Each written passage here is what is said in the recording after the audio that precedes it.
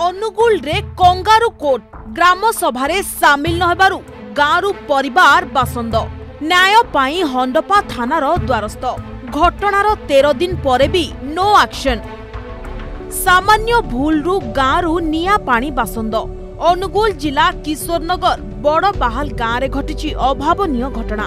ଲିଙ୍ଗରାଜ ପ୍ରଧାନ ଓ ତାଙ୍କ ପରିବାରକୁ ଗାଁରୁ ବାସନ୍ଦ କରିଛନ୍ତି ଗାଁ କମିଟି। ଭୁଲ ଏତିକି ଥିଲା ସେ ଗ୍ରାମସଭାରେ ସାମିଲ ହୋଇନଥିଲେ। ଏହି ପରିବାର ସହ ଗାଁର ସମସ୍ତଙ୍କୁ ମିଳାମିଶା କରିବାକୁ ମନା କରାଯାଇଛି। ନହେଲେ ଏକ ହଜାର ଟଙ୍କା ଜରିମାନା ଲାଗିବ। କେବଳ ସେତିକି ନୁହେଁ ଗାଁର କୌଣସି ଦୋକାନରୁ କିମ୍ବା ହାଟରୁ ଜିନିଷପତ୍ର କିଣିବା ଗାଁ କୂଅରୁ ପାଣି ନେବା ସବୁଥିରେ ବାରଣ କରାଯାଇଛି। ଦୀର୍ଘ ଦିନ ହେଲା ନିର୍ଯାତିତ ହୋଇ ଦୟନୀୟ ଅବସ୍ଥାରେ ବସବାସ କରୁଛନ୍ତି ପରିବାର। ଗାଁର କିଛି ଜାଣିନି ଗାଁ ଲୋକ ମୋତେ କିଛି କାରଣ ଦର୍ଶାଇ ନାହାନ୍ତି। ଏଣୁ ଗାଁ ମିଟିଂକି ମୁଁ ଯାଇନଥିଲି ଗାଁ ମିଟିଂରେ ଉପସ୍ଥିତ ବି ନଥିଲି। କିନ୍ତୁ ମୁଁ ମୋର ଅନ୍ୟ ଗୋଟେ ଜାଗାରେ ଘର ଛାଡ଼ିକିନି ଅନ୍ୟ ଜାଗାରେ କୁଡ଼ିଆରେ ଶୋଇଥିଲି। କିନ୍ତୁ ରାତି ପାହିଲା ମୋତେ ଆଉ କେହି ଡାକି ନାହାନ୍ତି ରାତି ପାହିଲା ବେଳକୁ ମୋତେ ବାଛନ୍ଦ। ମାନେ ମୋତେ କେହି ପାଟି ଫିଟେଇବେନି। ମୁଁ କାହା ଘରକୁ ଯାଇପାରିବିନି ମୋ ଘରକୁ ଆସିପାରିବେନି।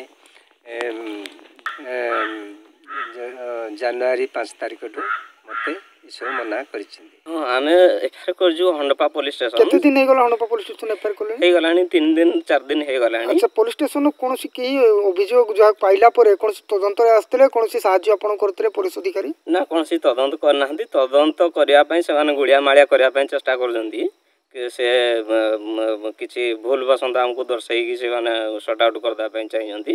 କିନ୍ତୁ ଆମେ ଉପଯୁକ୍ତ ୟାର ଦ- ଦାବି ଚାହୁଁଛୁ ଯେ ଆମକୁ ବାଚନ୍ଦ କରାଯାଇଛି ଆମେ କେମିତି ଚଳିପାରିବୁ।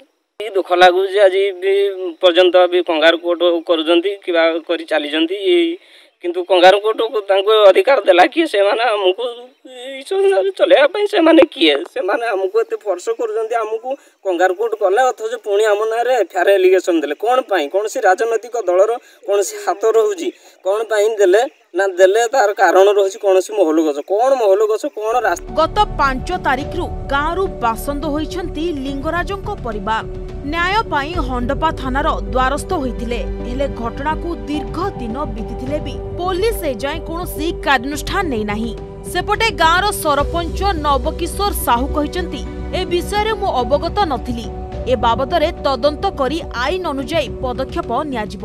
ମୁଁ ବର୍ତ୍ତମାନ ଅବଗତ ନୁହଁ। ଯଦି ଆପଣଙ୍କଠୁ ମୁଁ ଜାଣିଲି ତେଣୁ ମୁଁ ବର୍ତ୍ତମାନ ଗାଁର ଲୋକଙ୍କୁ ପଚାରି ବୁଝିବି। ତେଣୁ ସରକାର ଆଇନ ଅନୁସାରେ ଆମେ ସେଇଟା ପଦକ୍ଷେପ ଗ୍ରହଣ କରିବୁ ପ୍ରଶ୍ନ ଉଠୁଛି ବାସନ୍ଦ ହୋଇଥିବା ଲିଙ୍ଗରାଜଙ୍କ ପରିବାରର ଭୁଲ କଣ ଥିଲା? ବିନା ଭୁଲରେ ଗାଁ କମିଟିକୁ କିଏ ଅଧିକାର ଦେଲା ଏଭଳି ଦଣ୍ଡ ଦେବାକୁ? ଥାନାରେ ଏତଲା ପରେ ବି କାହିଁକି ନେଉନି ପୋଲିସ ଆକ୍ସନ? ଏତେ ଦିନ ହେଲା କଣ କରୁଛି ପୋଲିସ ପ୍ରଶାସନ? ଅନୁଗୁଳ ଜିଲ୍ଲା ଆଠ ମଲ୍ଲିକରୁ ସୁନୀଲ କୁମାର ମହାନ୍ତିଙ୍କ ରିପୋର୍ଟ। Argus news.